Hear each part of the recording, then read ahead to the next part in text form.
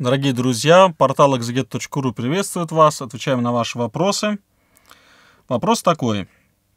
Разве может Бог, посылающий страдания людям, пусть и грешным, и создавший ад, быть истинно человеколюбцем?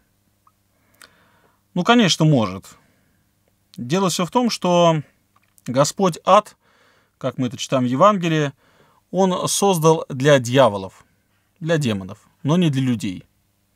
Когда Господь говорит, и падут грешники в муку вечную, которая была уготована дьяволом и ангелом его.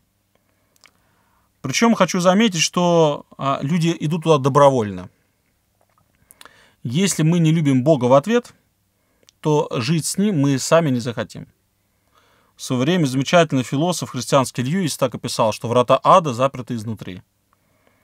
Господь создал нас со свободной волей, и если мы не хотим жить с ним, то у нас именно за счет того, что есть свободная воля, мы можем сказать ему «нет, не хочу с тобой жить».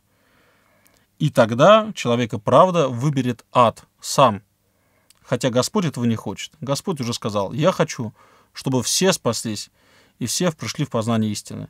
И еще Господь говорит, нет радости на небе более, чем радость об одном грешнике кающемся. То есть, когда мы начинаем обращаться в сторону света, это самая большая радость на небе. А что касаемо страданий, то э, зачем здесь про Бога-то говорить? А, чаще всего, в большинстве случаев, страдания — это следствие наших собственных же ошибок. Прямо пишет апостол Иаков. Господь Бог не испытывает нас, не искушает. Мы сами искушаемся собственными похотями. Если я ходил без шапки, а потом простудился, то разве Господь Бог послал мне простуду? Нет.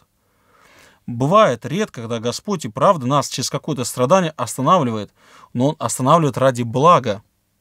В конце концов, когда мой ребеночек хочет засунуть пальчик в розетку, а я его останавливаю, а ребеночек кричит, папа, не останавливай меня, там ты делаешь мне больно, там останови меня, я хочу пальчик в розетку всунуть, то если я все-таки дам это возможность сделать, то получается я плохой отец. Поэтому а, приписывать Богу что вот он такой злой, что посылает нам страдания, не стоит. Надо просто честно смотреть на последствия собственных действий, и все сразу станет понятным. Помоги, Господи.